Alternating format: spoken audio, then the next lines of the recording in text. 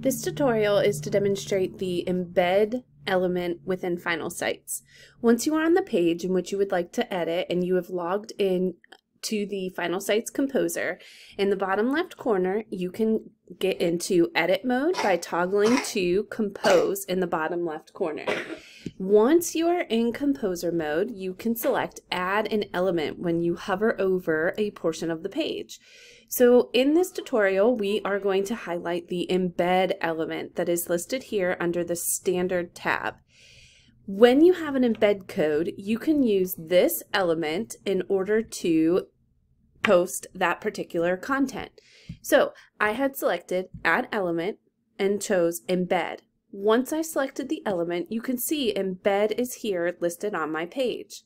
In order to edit that embed, you can open settings and add a, uh, and add a custom embed code by clicking here. When you do so, I highly recommend changing the title. So for this, I might add get to know GA. You can have the title show, or if you want to hide it, you can use this toggle to the right. You don't have to have a title that is showing for the embed element.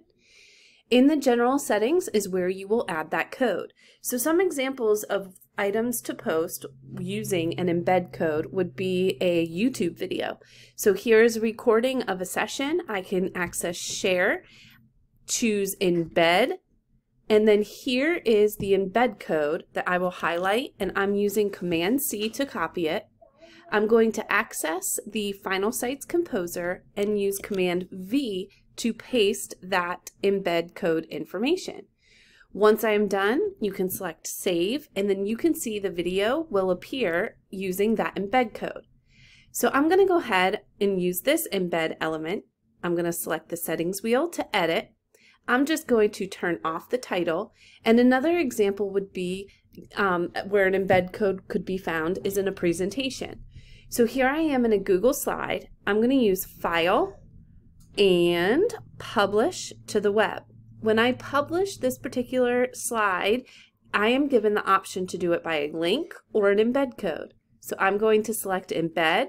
There are some settings that you can use. I might start the slideshow as soon as it appears, restart at the end, and select publish. Once I publish, here's the embed code that I'm going to use Command C to copy head back to my Finalsites Composer, use Command V to paste, and then select Save. And once I do so, there is that Google slide right below there. Now another and last example that I will show using the embed element. So I hovered over, I'm adding an element, choosing embed, it's going to appear here and then I will edit that embed element is in reference to newsletters. So many of us use Smore as a newsletter and that has an embed code as well. So here on my Granville Academy Smore newsletter, I'm going to copy or get the embed link. So here's my embed code. I'm using Command C to copy it. Then here in my composer, I am waiting for that element to appear. So I might just add another one and it may take a second here. Excellent. So here is my embed element. I'm going to select settings in the top corner. For this one, I am going to just turn off that title. I'm going to use Command V to paste my embed code and select save and then my newsletter will appear. So from here, I can see in the bottom right corner that I am in draft mode. In order for any of these items to publish to the web, I will need to select the green publish option. I can publish this now or publish later. I'm going to publish now. And when I view this particular page, I can, using the icon, eye icon in the bottom left corner, I can see what an embed element looks like on an actual page. Now, here's a good example of where that title might be showing and where it won't be showing. And you can always go back to that composer mode and edit these items. So I'm going to just go ahead and delete these particular embed pages.